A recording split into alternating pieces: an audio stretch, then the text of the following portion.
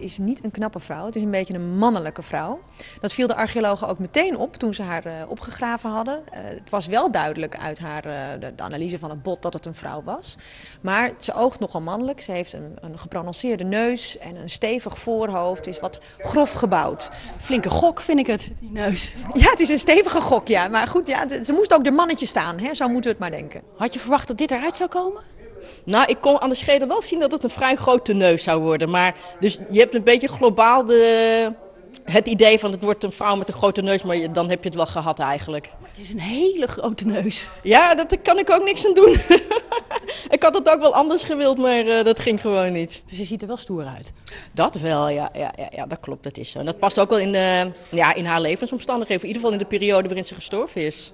Ze was de enige vrouw in de massagraven. Dat spreekt natuurlijk ook enorm tot de verbeelding. Ja, samen met ook één, echte kind in het massagraf. Maar ja, men denkt dat het een, een, vluchteling is geweest, mogelijk uit het zuiden, waar natuurlijk meer oorlogsgeweld al geweest was.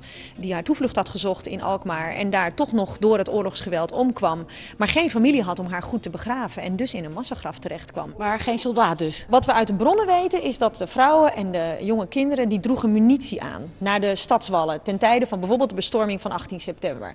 Dus ze namen brandende pekhoepels mee, uh, hete pis, hete kalkwater, om over de uh, aanstormende Spanjaarden uit te gieten. Uh, dus het aandragen van munitie, dat zal de belangrijkste rol geweest zijn. Waarschijnlijk natuurlijk ook het verzorgen van gewonden en, en, en zieken. Ze draagt ook uh, wat bloederige lappen bij zich hier in het museum. Dus dat zal zijn omdat ze net iemand verzorgd heeft. Maar ja, het, het was echt wel een, een actieve rol tijdens de bestorming. Ja. Een held wel, een heldin. Een heldin, ja, vast wel. Vast wel ja. Trots op, op het resultaat? Oh ja, tuurlijk. Nee, dit is echt een... Uh, ja, nou, toch wel. Eigenlijk vind ik het een mooie, een mooie vrouw. Een mooi plaatje sowieso. Een heel mooie figuur en een mooi karakter. Dus, uh, en vooral met die kleding erbij. Het is, uh, het is helemaal af.